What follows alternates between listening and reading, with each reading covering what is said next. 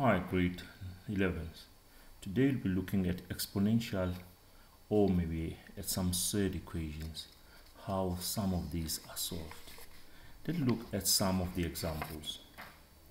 An exponential equation will look like something like this. It will have an exponent like that and the variable we are solving for will be on the exponent. So that one is an exponential equation because you can see x is at the top there. There is an x there at the top there. You are solving that. So that would be an exponential equation. All right. So now how do we solve this? In grade 10, you were able to solve some equations which were exponential and then they were looking like this. You've got one term here equals one term. It was easy to solve those ones. You'll see how those ones go. Now let's look at this one here.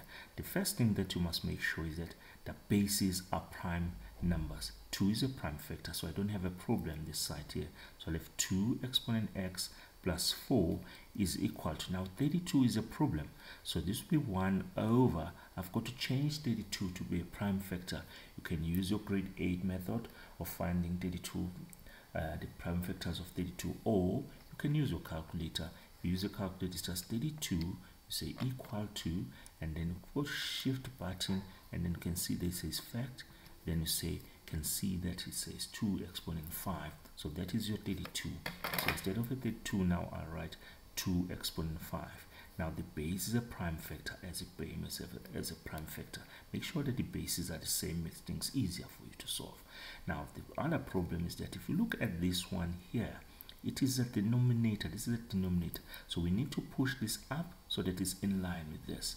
So how we do this is 2 exponent x plus 4 is equal to when you push this up it becomes 2 exponent negative 5 all right?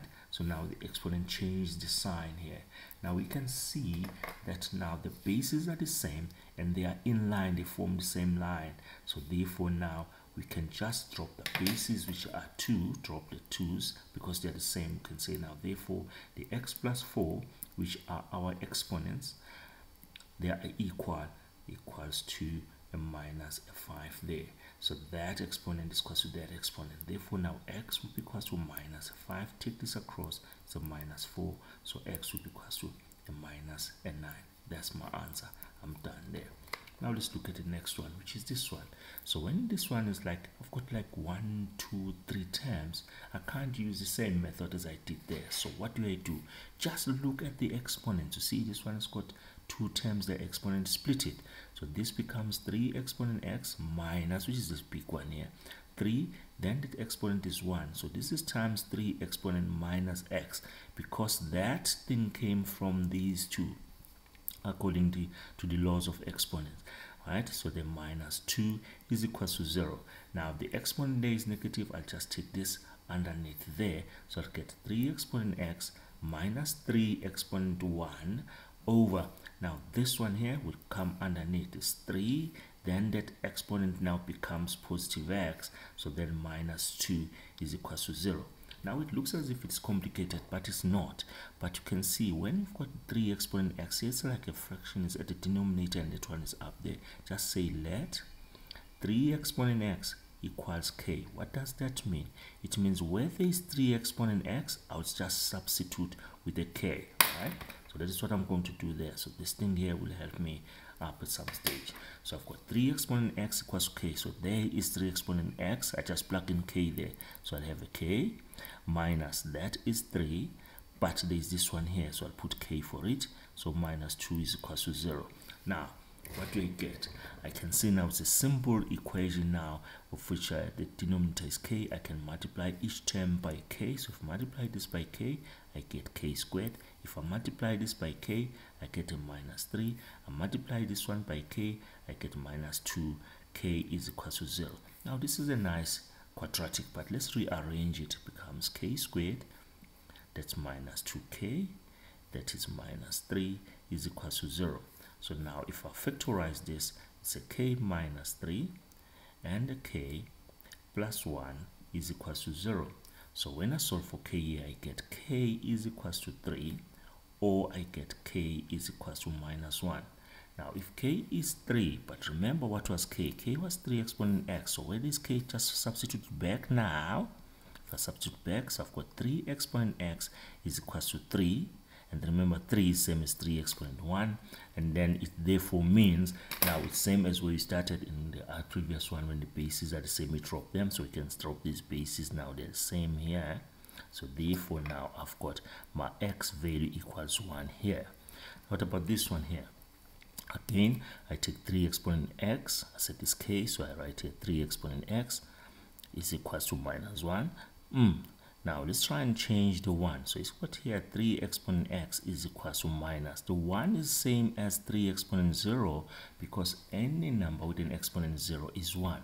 Now, if you look at this one here, the base is 3, the base here is minus 3. It's not, it's not working for us. So in this case, we say this one here, this doesn't have a solution. So we can say it's not applicable. So it's n a like that okay now let's look at another example here another example now would be like solving surd equations now surd equations you see them with the square roots you can see them the square root right now by definition of surds right the square root of a number will always be positive so the square root of this thing here should always be a positive thing so it means that in this case i can find the answer here if you look at this one here the square root of something should always be positive, but they wrote here, they say it's negative.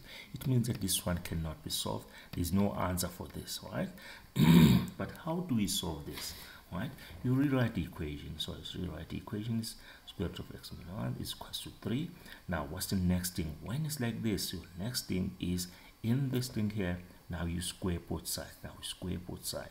I square this side here. So if I square this side, I get x minus 1 is equal to square this one you get 9 now take minus 1 across you get x is equal to a 10 because minus 1 goes to the side becomes 9 plus 1 which is 10 so the answer here is x is equal to 10 now because we've squared our original equation you must always check your answer. So how do you check? So in the original equation you must substitute the value of x and see if the left hand side is same as the right hand side.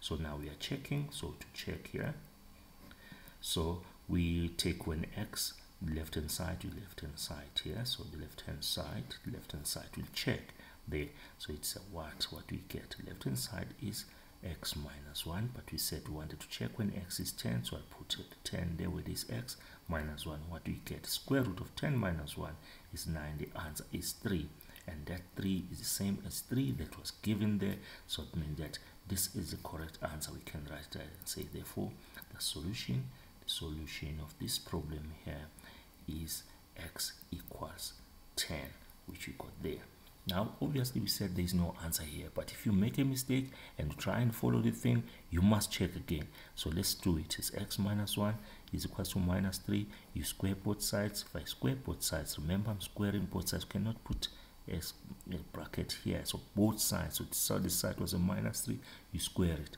So if I square this I get x minus 1 is equal to square this one I get 9 take this across you get x is equal to 10 then you get x equals to 10 so you must check you check your answer the left hand side which was you always check in the original equation. So it's x minus 1 what do you get when x is 10 so I get 10 minus 1 I get square root of 9 and the answer is 3 now the answer here is 3 but that was giving us minus 3 so this is not the solution so therefore we can say here there is no solution. No solution in this case no answer okay now let's look at another example now. another example is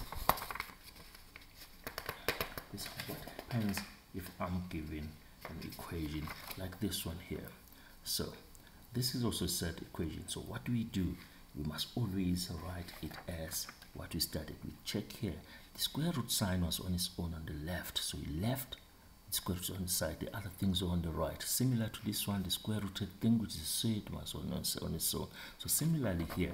So what we do to make things easier for us is that this must be left on its side, so it means that these must go to the other side. So, which means that I will have now the square root of x plus 5 equals you take minus x to the side becomes x take this to the other side becomes minus 1 so if that happens becoming minus 1 there. So what do you do? We need to square both sides. Now let's discuss this thing here. So when you take these other things to the other side and, and the surd is left on its own we say that you are isolating the surd so what we're doing here we're isolating the surd you isolate isolate the surd you leave the surd on its own. Now we can solve this problem. So what's the next thing now once you've isolated the surd you must square both sides so it's x plus 5 under the square root is x minus 1 you square both sides you square both sides right so if i square the square root i get x plus 5 now here's a mistake some of us do. Remember what a square means. It means that it's got x minus 1, another x minus 1 as factors of this thing. They are multiplying. So we know how to simplify this. So this is x plus 5 is equal to to simplify this, this x multiplies there and also there. So you'll get x squared minus 1x. Now this minus 1 multiplies there and also there. We get minus 1x then plus 1. So in the right hand side here, we'll get x squared minus 2x plus 1. That's a quadratic and then it's x plus 5. What do we do now? Take everything to one side because now it becomes a quadratic. If I take this x to there, I'll get a minus 3x. If I take a 5 to that side, then I'll get a minus 4. Now, this is a quadratic equal to 0. So once we've got that, we factorize both sides, both sides here. So I'll get x minus 4 and x plus 1. Those are the factors. Which therefore means from here, x will be equal to 4 and from there, we'll get x equals minus 1.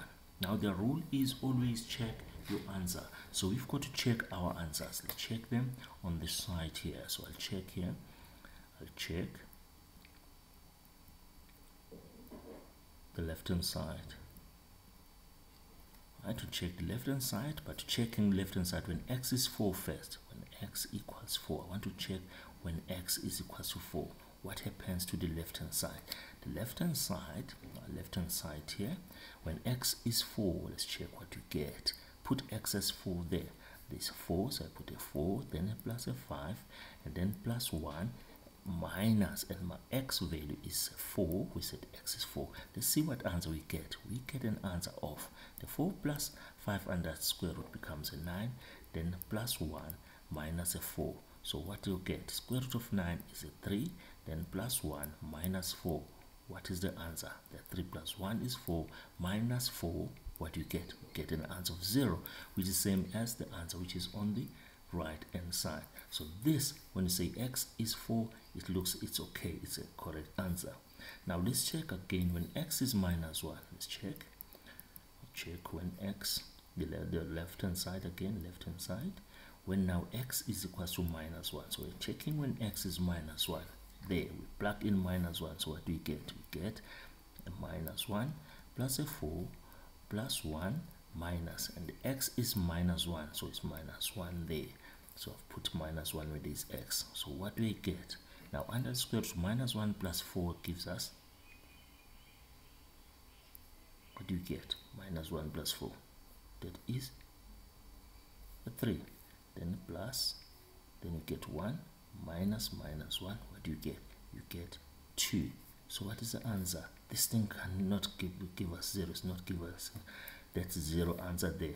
So this is not the same as 0 so the answer is just square root of 3 plus 2 it doesn't go to that 0 there. So therefore it means that this is not the solution it's not an answer. So we can say the only answer therefore the solution to this problem here the answer to this problem is when x is equal to 4 only right? Now for yourself you can try and do this problem as your application from your grade 11 Siyavula textbook chapter 1 do 1.3 solving certain equation exercise 1.6 i think there are about like 10 problems there. Good luck